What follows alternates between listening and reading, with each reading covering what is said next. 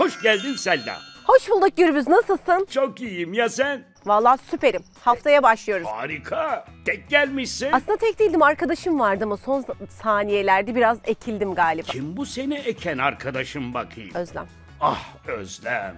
Niye kızımızı tek başına bıraktın burada? Buradan duysun. Niye bıraktın beni Özlem tek başıma? Bize kendinden bahsetsene biraz. Aslen Tokatlıyım Gürbüz. Yıllardır da yaklaşık 13 yıldır da İstanbul'dayım. Buradayım, çalışıyorum. Ekmeğimizin peşindeyiz senin anlayacağın. Ne iş yapıyorsun? Radyo programcısıyım. Radyo programcısı mı?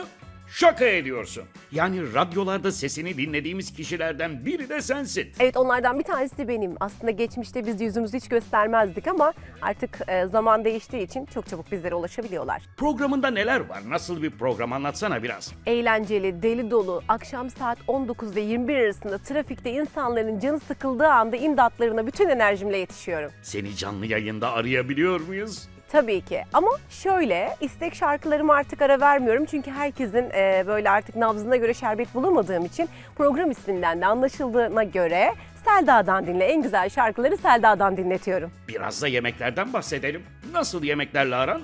Eğitim aldım Gürbüz. Sadece kendimi hani ben mutfakta yiyeyim demekle bırakmadım. Özel bir kurumda bir yıla yakın bir eğitim aldım. O zaman sana aşçı diyebilir miyiz? Ya henüz değil. Henüz değil bence. Çünkü aşçı olabilmek için gerçekten bayağı bir emek sarf etmek gerekiyor. Ben kendi mutfağımın aşçısıyım. Nasıl yarışmacılar bekliyorsun? Biliyorsun bazıları çok enteresan oluyor. Evet çok enteresan oluyorlar. Ben çok enerji dolu bir insanım. Moralim çok çabuk bozulmaz. Çok çabuk sinirlenmem. Ama sinirlendiğimde de moralim bozuk olduğunda da ortalığı yıkar yakar geçerim. İstiyorum ki karşımdaki insanlar da saygılı, sevgili, seviyeli ve enerji dolu olsun. Tabii ki de en önemlisi adaletli olsun. Sen adaletli olabilecek misin? Vallahi Gürbüz ben terazi burcuyum. Terazi demek denge demek, adalet demek. Bu da zaten gördüğün gibi. O yüzden de istiyorum ki herkes adaletli olsun. Vallahi menünü çok merak ediyorum. Söyle bakalım neler yapacaksın bize. Başlangıcımızda güzel bir tam da mevsimi olduğu için e, kıtır ekmek eşliğinde, Hindistan ceviz sütü eşliğinde güzel bir bezelye çorbası var. Oo, güzel bir başlangıç. Arkasından Güzel iki tane ara sıcağımız var. Bunlardan bir tanesi zeytinyağlı yaprak sarması. Hemen sonra ise domates soslu deniz börülceli enginarımız var. bol sebzeyle sağlıklı ve iddialı bir başlangıç yaptık. Asıl ana yemekte ne var? Ana yemeğimizde eee, keşkek yatağında lavaşı kendimiz açacağız. Tavuk wrap ama fırında tavuk wrap var. Lavaşı da biz açacağız bugün. Vallahi çok iddialı bir yarışmacı görüyorum karşımda. Peki salatamız ne? Bahar dalı salatası. Yalnız kışa girmek üzereyiz. Bu, bu aylarda. Sonbaharda. O zaman bize baharı yaşatacaksın bugün. Ve son olarak Tabii son olarak da kremalı güzel bir yine mevsiminde kabak tatlımız var. Bitmedi Gürbüz daha dur. bir dakika tatlıdan sonra bir şey mi var? Herkes hasta. Dinlenmemiz lazım. Enerjiye ihtiyacımız var. Portakallı, tarçınlı kış çayı. Bunu tatlıyla birlikte mi vereceksin? Tatlıdan sonra belki dinlenirken de olabilir ya da tatlıyla birlikte de olabilir. O zaman bir an önce alışverişi yapıp yemeklerimize başlayalım. Üstünü değiştirecek misin? Üstümüzü değiştirmiyoruz. Sadece spor ayakkabılarımızı giyiyoruz ve markete gidiyoruz. Hadi gidelim o zaman. Bu menü çok yoğun, karışık ve çok haşlama var. Yani haşlayacak da haşlayacak, haşlayacak, haşlayacak, doğrayacak, haşlayacak. Ben bundan ibaret olduğunu görüyorum. Ama çok fazla hazır ürün kullanırsa kesin yetiştirecektir. O noktada bir şey düşünemiyorum, söyleyemiyorum daha doğrusu. Ama benim ve diğer yarışmacı arkadaşlarımın da hazır kullanılan ürünlere karşı tepkilerinin çok net olacağını düşünüyorum. Kesinlikle mevsimsel değil yani. Mevsime asla uymuyor. Beğenmedim yani. Ya beğendiğim orada bir yaprak sarması. Eğer onu gerçekten güzel yaparsa güzel puan alır benden. Bezelye çorbasına zaten hiç anlam veremedim. Hindistan cevizi falan çok karışık. Çok okurken bile yoruldum. Yani bilmiyorum. Bu, merak ediyorum. Gerçekten sofrayı bugün çok merak ediyorum. uyumsuzluklar var gerçekten.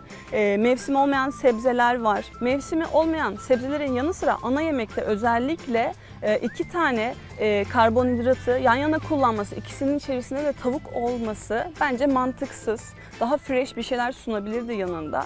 Eğer bağlamaları, lezzetlendirmeleri, e, e, son nokta atışlarını eğer daha düzgün yaparsa, lezzetlendirebilirse e, çok kötü bir menü değil. Çok basit de menü değil. İnşallah tutturabilir. E, yani tutturabilirse e, tadımımızı, lezzetimizi bakacağız. Ona göre hareket edeceğiz. Gürbüz ben hazırım. E ben de hazırım. Hadi markete gidelim. Hadi koş koş koş. Alışveriş macerasına hoş geldin. Hoş bulduk. Nasılsınız bakalım görmeyeli? Neyle başlıyoruz önce? Önce hemen şöyle soğanlarımızı ve patateslerimizi alıyoruz. Soğan ve patateslerin ardından diğer sebzelerini ve yeşilliklerini de arabasına atıyor yarışmacımız. Manav alışverişin bitti mi? Manavdaki alışverişimiz O bitti. zaman içerideki reyonlara gidelim. Manav alışverişimiz bittiğine göre artık marketten devam edebiliriz. Bütün reyonları atlayıp geçtin. Buralardan bir şey almayacak mısın? Neden atlıyoruz, neden görmüyoruz? Hemen pirincimizi alalım. Yarışmacımız zeytinyağlı yaprak sarmasında kullanacağı pirinci alıyor. Bana kim bakabilir? Kırık pirinç alabilir miyim? Göremiyorum ben. Ah evet süpersin ya ben görememiştim sen gördün. Yani hissim e, menü hazırlayan kişi hakkında şunları düşünüyorum. İlk olarak e, kendine güven güvendiğini düşünüyorum aslında. E, çünkü bal kabağı pişmesi zor bir ürün. E, aynı şekilde keşkek dövecek onu, ezecek, buğdayları ezmesi lazım. Onların pişmesine dikkat etmesi lazım. Aynı şekilde sarma saracak bize. Bu da zor bir şey. Zor ürünler seçmiş dediğim gibi. Büyük ihtimal ya ev hanımı kendisi ya da yemekle uğraşıyor ki bu böyle bir menü seçmiş. Kaşar alacağız ve göğüs eti alacağız. Merhaba, Hoş geldiniz, gelsin. merhabalar. Nasılsınız? Teşekkür ederim. Sizler nasılsınız? Güzeliz, iyiyiz, mükemmeliz. Göğüs eti istiyorum. Tamam hay hay. Tavuktan. Herhangi bir şey yapmamı ister misiniz yoksa böyle siz mi yapacaksınız? Ben yaparım Büyük ya. ihtimal siz yapacaksınız. Ben yapayım. Ne de olsa ustalık da var tabii. Evet. Yarışmacımız Selda aşçılık eğitimi almış. Ne güzel. Ama buna rağmen ana yemeğinde rap yapıyor. Evet çok şaşırıyor. Tavuk e, wrap yapacağım fırında. Tavuk dürüm gibi bir şey yani. Hayır değil. Ben eminim güzel olacak. Zor bir yemek mi sence ustam? Bence zor bir yemek. Özellikle bir tane fazla yapacağım denemesi için. Bu arada kahveyi şekerli mi içersin, şekersiz mi? Şekersiz. Ya niye duruyorsun Selda'cığım? Devam etsene. Hadi o zaman gidelim. Mantarımızı alalım. Bir tavuk ana yemek için çok basit. Tavuğun bir sürü çeşitleri var. Tavuğu sararsın, yaparsın, ıspanaklı yaparsın. Wrap çok mantıksız geldi bana ki benim için gerçekten çok basit. Yani dürüm bu, başka hiçbir şey değil. E, o zaman dürümcüye gidelim, dürüm yiyelim. Ve nihayet kasaya geldik. İşte buradayız. Hadi hemen alışverişi tamamlayalım. Vildan ne haber? İyiyim sağ olasın. Ayşegül nerelerde? Hemen Ayşegül şöyle terfi oldum. Nasıl, nereye terfi oldu ya? Ayrıldım. Hayırlısı olsun. Vildan, yarışmacımıza bir bak bakalım. Sence bugün başarılı olur mu? Yapabilirler. Yapabilir. Teşekkür ederim Vildan Hanım. Ne var menüde? Neler yok ki? Ana yemeğime çok takıldılar bugün Vildan. Keşkek yatağında fırında tavuk wrap var bol kaşarla. Bence yaparsınız. Ama diyorlar ki işte böyle fırında olur mu? İşte dürüm gibi olur falan. Ben de diyorum ki hayır öyle tamamen kafanızdan silin. Bambaşka bir dünyaya geçin. Yaparsınız bence. siz. Yaparım değil mi? Evet. Ben de öyle diyorum. Yapacağım diyorum. Birlikte yiyeceğiz ve göreceğiz diyorum. İnşallah. Ürünleri birer birer kasadan geçiren yarışmacımız ücretini ödeyip alışverişini tamamlıyor.